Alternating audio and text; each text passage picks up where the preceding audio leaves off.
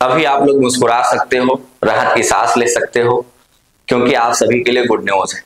आप सभी को पता ही होगा सीओटी पीजी एग्ज़ाम देने के बाद हमें यूनिवर्सिटीज के वेबसाइट पर जाके, उनके पोर्टल पर जाके रजिस्ट्रेशन करना होता है, जिसको बोलते हैं यूनिवर्सिटी रजिस्ट्रेशन पोर्टल ओपन हो गया। ऐसे वीडियो यूट्यूब पे खूब ट्रेंड कर रहे हैं।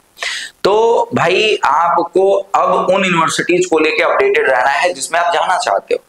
सभी यूनिवर्सिटीज को लेकर अवेयर रहना पॉसिबल भी नहीं है। भाई, हमारे पास सौ से ज़्यादा यूनिवर्सिटीज कम से कम सीयूटी पीजी में ही है। तो ये काम मैं कर दूँगा। मैं आपको बताता रहूँगा कि कौन कौन सी यूनिवर्सिटीज जो है वो अपना पोर्टल स्टार्ट कर चुके हैं। आज एक बेहद गुड न्यूज़ है, सबसे बढ़िया गुड न्यूज़ है, क्योंकि डीयू बच्चे बहुत ज़्यादा जाना चाहते हैं। तो फाइनली डीयू का जो पोर्टल है, वो स्टार्ट होने जा रहा है। लेकिन डीयू से पहले जिसका स्टार्ट हो चुका है, उनका नाम मैं बता देता हूँ, तेजपुर यूनिवर्सिटी जो कि स्टार्ट हुआ, फिर होल्ड हो गया था अकाउंट फिर से स्टार्ट हो गया था। आप जाके तेजपुर यूनिवर्सिटी में रजिस्ट्रेशन कर सकते हो। Mahatma Gandhi central university Bihar start हो चुका है। आप वहाँ भी में भी जाके अपना फिलअप कर सकते हो। पंडुचेरी यूनिवर्सिटी यहाँ भी जाके अपना फिलअप कर सकते हो। केरला का कमिंग सोन है, जैसे आता है, मैं आपको इन्फॉर्म कर दूँगा। बाकी प्रॉपर वीडियो में दे रहा हूँ कि कौन कौन से स्टार्ट हो चुका है, कैसे वहाँ तक पहुँचना है, उसका वेबसाइट क्या है, ये भी मैं आपको बता दूँगा।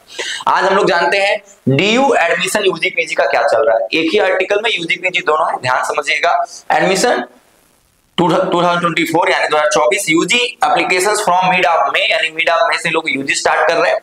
और पीजी फ्रॉम अप्रैल 25 ठीक है? यहाँ पे बहुत अच्छे से उन्होंने मेंशन किया हुआ है।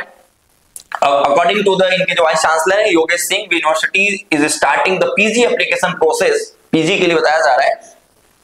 चौबीस पच्चीस एकेडमिक ईयर के लिए अप्रैल 25 ठीक है? और अंडर ग्रेजुएट के लिए फ्रॉम मिड ऑफ़ मे।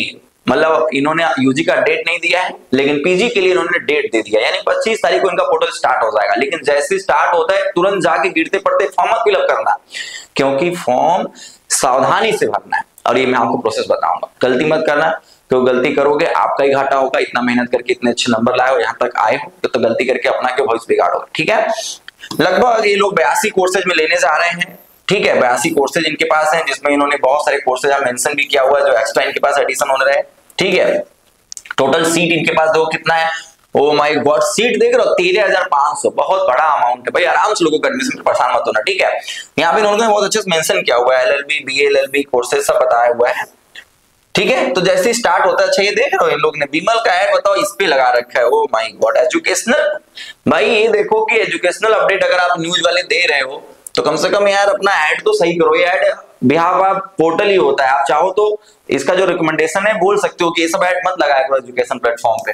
गधे हैं, क्या करें? हमारा देश ही ऐसे चल रहा है तो। ठीक है तो चलिए बस जैसे अपडेट होता है, मैं आपको इन्फॉर्म करता हूँ, मुस्कुराते रहे, बहुत सारी शुभकामनाएँ। प्लीज़ सब्सक्राइब ज़रूर करें बेल को प्रेस करें, क्योंकि यहाँ पे आपको सबसे पहले और सटीक इन्फॉर्मेशन मिलेगा। हर हर महादेव।